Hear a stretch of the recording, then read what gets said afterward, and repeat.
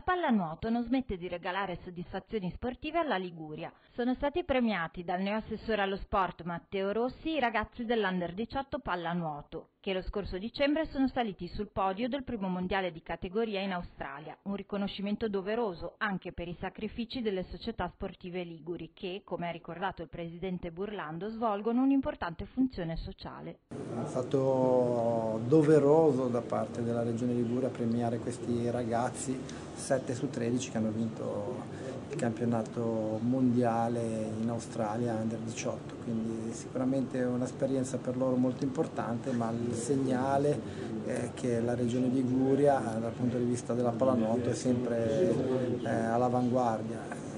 Quindi uno sport storico che è nato qua e che continua a essere fortemente radicato e sentito e che dà da sempre grandi campioni alla nazionale, quindi a 18 anni vincere un mondiale under 18, oltre che fare i complimenti per uno sport molto faticoso, anche un po' di invidia perché penso che sia un'esperienza bellissima che hanno vissuto assieme perché è uno sport di gruppo che dà qualità anche valoriale a questi ragazzi.